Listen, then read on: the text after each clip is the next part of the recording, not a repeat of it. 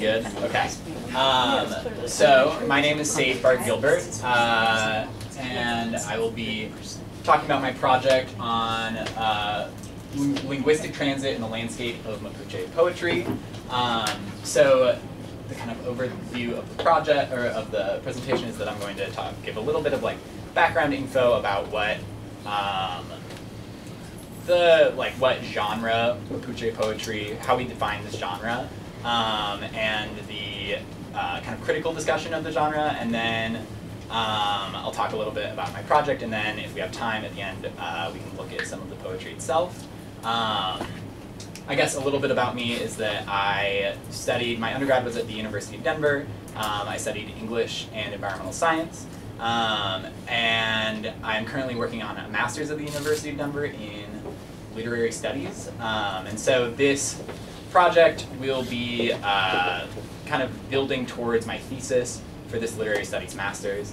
Um, so yeah, let's talk about a little bit of the uh, background. So when we're talking about Mapuche poetry, although um, the Mapuche are, so they are the largest indigenous group in Chile. They represent about, or comprise about 10% of the population. Um, and although they have been producing um, written work, uh, Mapuche intellectuals have been producing work uh, since the early uh, 1900s. Um, when we're talking about Mapuche poetry, it's like a specific genre that starts around the time of the like democratic return to Chile at the end of the uh, dictatorship, so around 1990. Um, and this uh, this was kind of marked by Leonel Lienlaf's uh, publication of Se ha despertado el ave en mi corazón um, in 1989. Um, and he, this was kind of like the first kind of landmark work uh, in the genre. He got a lot of national recognition for this publication uh, and was awarded the like municipal Santiago's municipal oh what is it called uh, literature prize, which is like kind of a big national award. Um, and then he was followed by Elicura Chihuailaf uh, in 1995. Um, and uh, he also was awarded this same like kind of prestigious national literary prize. Um, and this was happening at the same time um, as the passage of this Ley Indígena in 1993. So kind of to like discuss this, you have to go back and talk about like a whole bunch of history, and obviously this is very limited, but um, the Mapuche resisted um, the like resisted colonization for like an incredibly long time. Um, up until uh, the 1880s, they after a treaty. Let me see if I have it written down. Um, a treaty in 1641. Um, there was like a Mapuche territory established south of the Biobío River, and they defended that territory um, up until the 1880s, and it was like about 5 million hectares. Um, and then there was the simultaneous military invasions from the Chilean state and the Argentinian state, which was the pacification of the Araucania and the conquest of the desert in Argentina. Um, and the like kind of overwhelming violence of these two invasions uh, defeated the Mapuche, and all of that land was taken by the Chilean state and the Argentinian state, and they gave back like 475,000 hectares um, to some uh, Mapuche uh, individuals. So, uh, and then over the course of the 20th century, there was quite a lot of um, work by the Chilean government and by private entities to take the remaining part of that land, um, and this included under Pinochet declaring uh, communal land, uh, like separating it and putting it into individual holdings that could be more easily taken by the government and by private entities. Um, so the Ley Indígena was to some extent an attempt by the government to uh, deal with that um, kind of history of violence and uh, land uh, kind of stealing by the government. So it kind of enshrined or it attempted to, um, it committed the state to protecting and promoting the development of indigenous people here, and it also created uh, CONADI, which is the um, Corporation for the Development of Indigenous People. Um, and this corporation is supposed to like negotiate between the government and the Mapuche and other indigenous people in Chile. Um, and it, to some extent, like has been helpful, but has also created its own set of problems.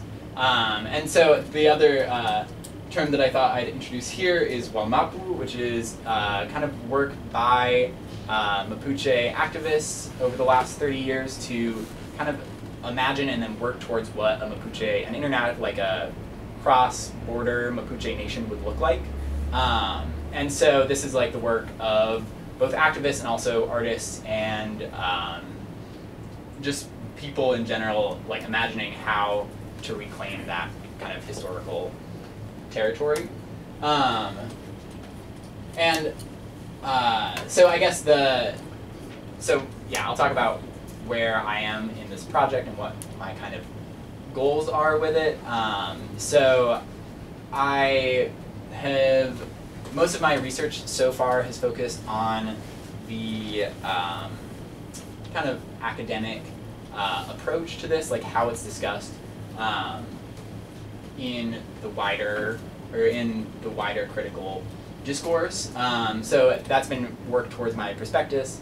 Um, and then now that I'm here, um, I will begin kind of a significant amount of like literary analysis, um, study of the Mapuche language Mapudungun, and building relationships um, with Mapuche authors. Um, I am going to be located at the University of Concepcion um, in southern Chile, and I will be working with uh, Dr. Susan Foote, who is a professor of Mapuche literature, um, as well as Claudio Gonzalez Pata, who is in the sociology department but is um, a Mapuche um, intellectual, and between um, them, they have like a really significant network of connections and um, can help with like one of the most significant obstacles that I've encountered so far in approaching the work is that it's like really hard to find these books, uh, especially in the U.S. Like they're not really like sold anywhere.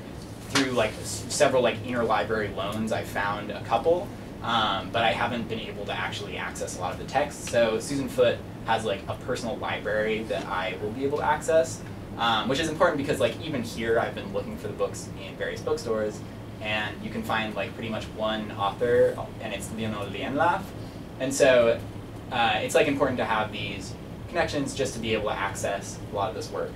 Um, and so the first part of it is just like reading and analyzing the texts and um, learning the way that this is discussed within Chile because a lot of the academic work that I've had access to is like the way that it is discussed outside of Chile. So it's there's kind of like these different levels um, that I have to negotiate there. Um, and then July through November of my project, um, I will be doing five to ten semi-structured interviews with the authors to kind of um, get their perspective and the um, research questions that I'm dealing with. Well, okay, I guess I'll talk about um, the kind of like key concepts that are in the academic literature around this topic, um, and kind of the framings that people use to approach it. So neoliberal multiculturalism, or I guess I should say, as the poetry has had like this kind of um, cultural moment, there has sprung up a wide discussion of it in academia. Um, and these are the general frames, I'd say, that are very common. And between like 20, 2000 and 2010, there's quite a bit of discussion of neoliberal multiculturalism. Um, and th- these are kind of like buzzwords that are then pushed together. But uh, it has a specific meaning here because this like uh, indigenous special law from 1993 enshrined like a uh, the government working to promote and protect indigenous peoples, um, which led to a lot of this kind of like multicultural discourse of like celebrating um, like ethnic cultures in Chile.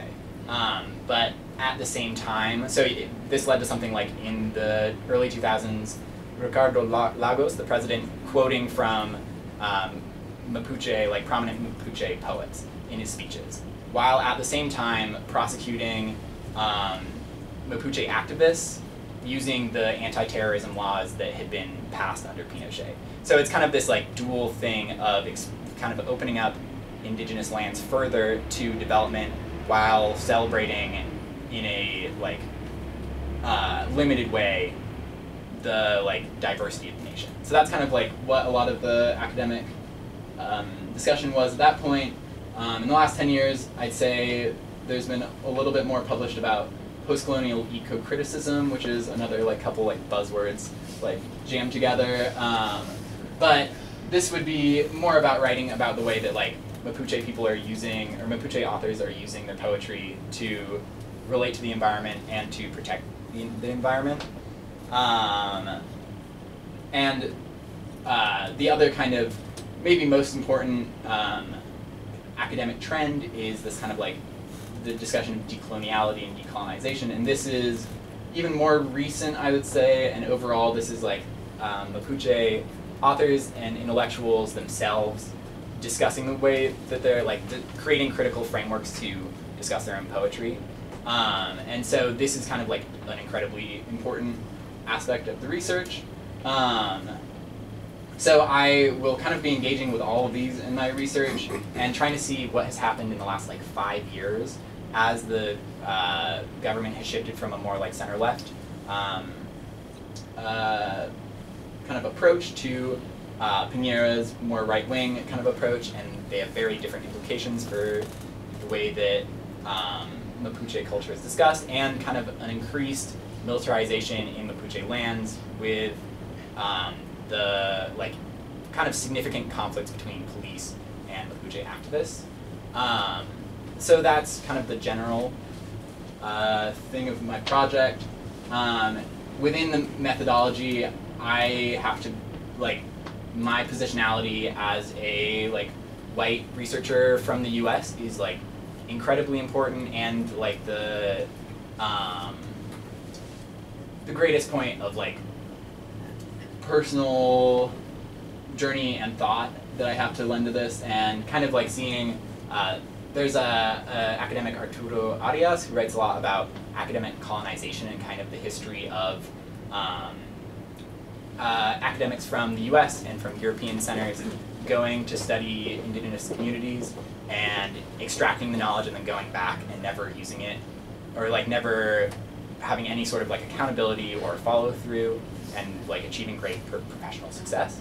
So um, I, I guess this project for me is trying to figure out if there is a way to um, connect with uh, or to discuss indigenous poetry as a white researcher and to study it that is not harmful and would hopefully, in fact, like further the interests of the authors that I'm uh, going to be working with. Um, and I think that like part of that uh, knowledge is like being willing to stop and to not publish and to like to pull back if it seems like the things that I am trying to study are not possible to study. Um, so yeah, and I thought that I would show a couple examples. So this is a really awesome poem by Lorenzo uh, Aillapán, and um, he is kind of, I think, there's several generational shifts. I mean, over 30 years, there's been several generational shifts. He's kind of an older poet, and this is kind of a very classic structure. Um, on the page, you would have the Mapudungun on the left and the uh, Spanish on the right, and um, it's part of this whole like language project of uh, forwarding the study of Mapudungun, um, and it also deals like quite heavily with um, nature and with geography, and a lot of his work is like discussing like specific geographic markers along rivers and stuff like that. So um, I think that that provides a good example. Um, and then I'll try to quickly compare it to, this is by Cesar Millahueique, and so he, he's kind of a, a, later generation. He's still like, at this point, he's like in his 50s, I think, um, but he was considered like a younger uh, Mapuche poet. And so his, he's still dealing like with these very like rich natural images, but he is also kind of negotiating his uh, location as like an urban author and the cultural like or like the the technological worlds that he also has to negotiate in his life. So um, that's like very very brief, but I think it provides a good example of some of the work um, that I will be reading. And so I think that's all my time.